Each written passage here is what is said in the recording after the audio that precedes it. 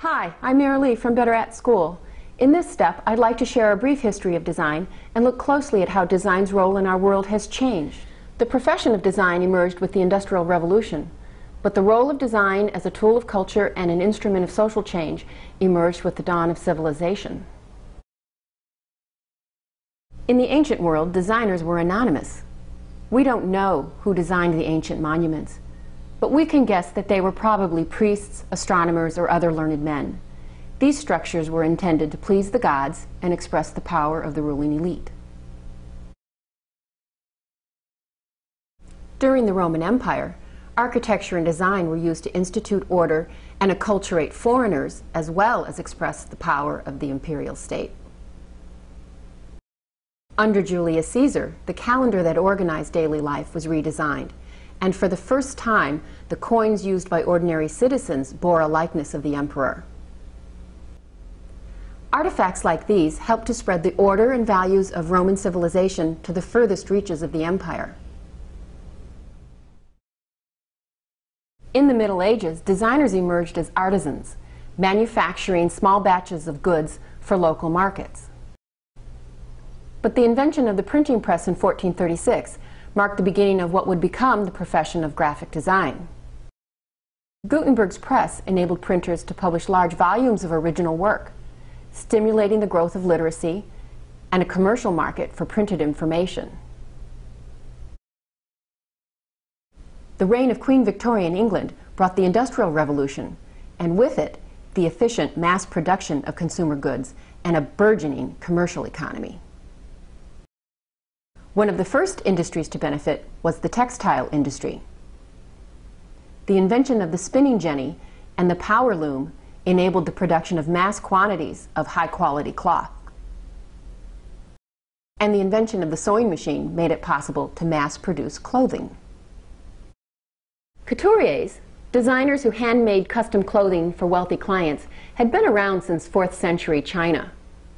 But it wasn't until the tools of mass production collided with the new popular media in the early 20th century that couturiers began to offer ready-to-wear apparel, and the new profession of fashion design emerged.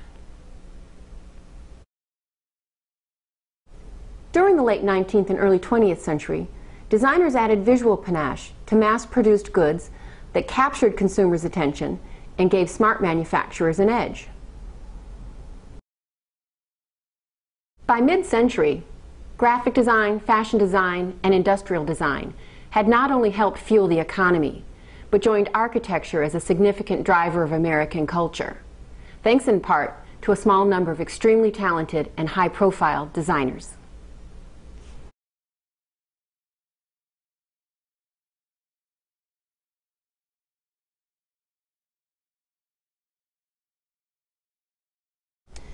But as successful as it was in helping to drive growth in the American economy, design was still primarily concerned with helping companies figure out how to win by designing beautiful products and positioning them through advertising for greatest impact in the market. Design was not present in the boardroom where strategy was made, in other words, where companies decided where to play. And a key reason for this was economic. After World War II, American consumers still had limited choice in the marketplace, so demand for most products remained strong. Marketers studied consumer purchasing behavior in order to make educated guesses about which product improvements or brand extensions to introduce to the market. And this worked, due in no small part to the fact that in the relationship between producer and consumer, producers still held more of the power. Then in the 1970s, everything changed. Global trade accelerated, bringing scores of new products into American markets. Suddenly, companies were facing intense competition and a marketplace that was changing faster than anyone could respond to it. And the development of computer technology only accelerated it.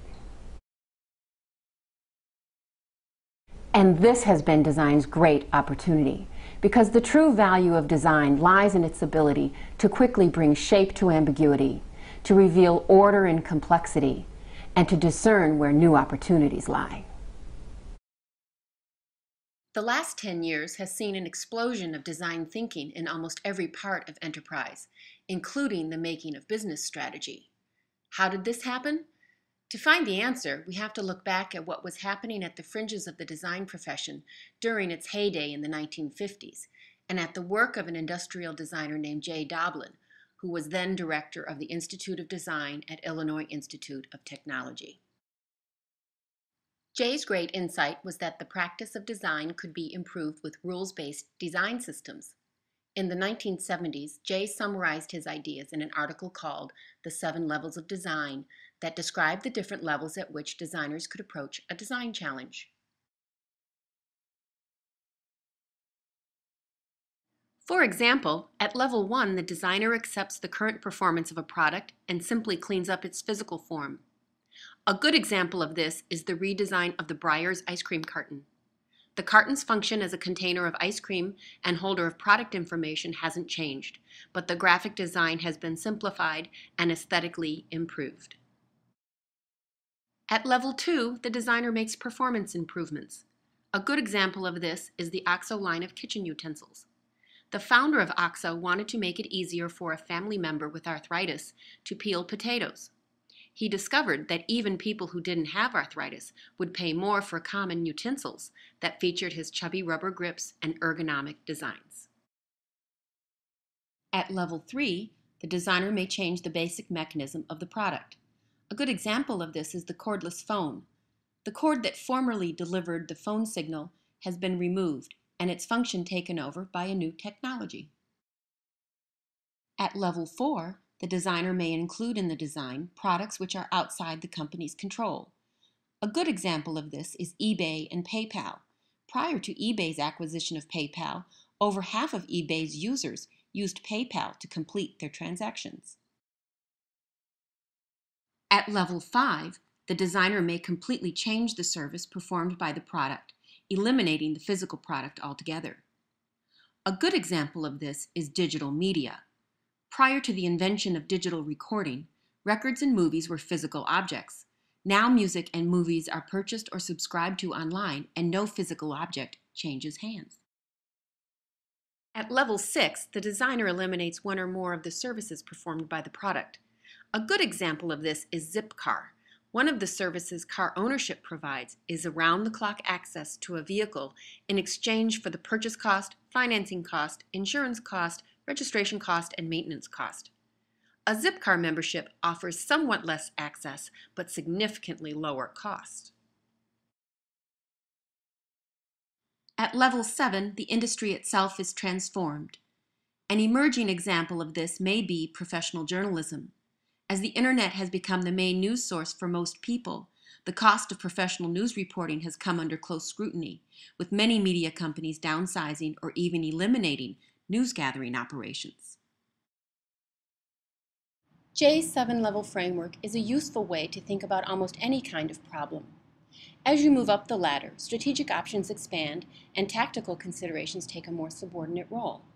The framing of options in this way can make it easier to match resources, tools, and objectives to the most appropriate approach.